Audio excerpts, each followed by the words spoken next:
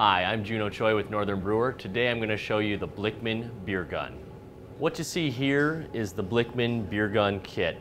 It comes with the beer gun itself, tubing for the liquid line of the beer gun, and a handy brush for cleaning out your beer gun. Not included but suggested is the beer gun accessory kit, which includes the following. Five feet of CO2 hose with quarter inch flare fittings, a liquid ball lock disconnect, a brass quarter inch pipe thread to quarter inch flare adapter, and a quarter inch hose barb flare swivel nut and clamp. This is the Blichmann beer gun itself.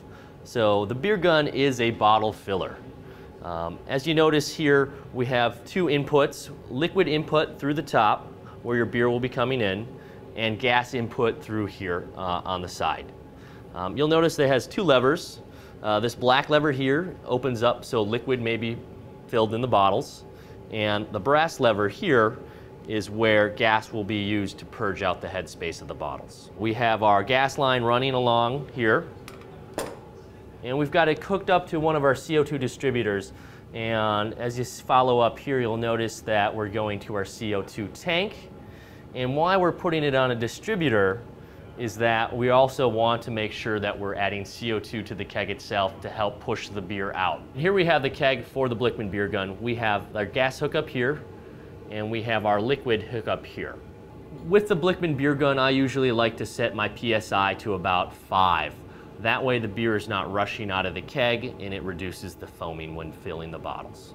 We have our sanitized bottles here. Now we're gonna show you how to use the Blichmann beer gun. I'm gonna insert the bottle filler inside the bottle.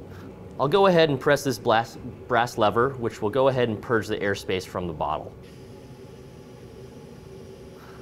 That should be about all you need. Now I'm gonna go ahead and press the black lever to begin filling the bottle.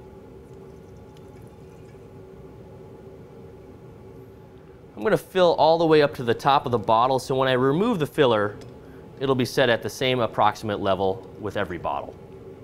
You can also go ahead and purge a little bit of that airspace inside the bottle before you cap it. And let's do a close-up of filling another one of these bottles.